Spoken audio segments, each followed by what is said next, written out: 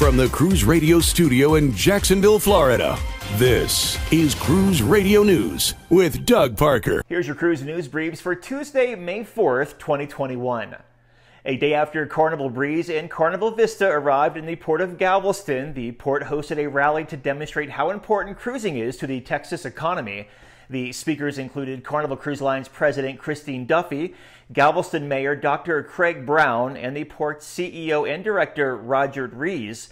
Nearby crew members from both ships received the COVID 19 vaccinations courtesy of the University of Texas Medical Branch at Galveston.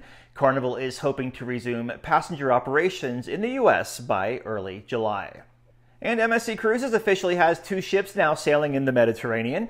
MSC Seaside joined MSC Grandiosa this past Saturday, beginning a schedule of seven night cruises in Italy and Malta. Starting in June, the voyages will include a private beach day in Italy designed exclusively for MSC Seaside guests. Eight more ships, including the new flagship MSC Seashore, are set to join Seaside and Grandiosa for European cruises this summer.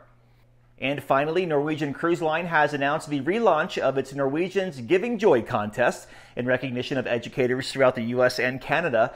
The line is asking for nominations of teachers who demonstrate a passion for teaching and bringing joy to their students. People can then vote for their favorite nominees.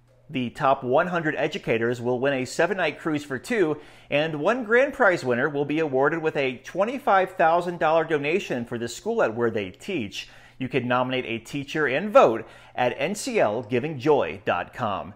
And cruise line stocks for Monday, Carnival Corporation down 0.1% to 27.93, Royal up 1%, 87.91, and Norwegian up a half percent, 31.19. Breaking news and up to the minute industry coverage at cruiseradio.net. I'm Doug Parker with Cruise Radio News. The proceeding was a production of Cruise Radio. For more accurate and dependable updates, subscribe to our YouTube channel or visit cruiseradio.net.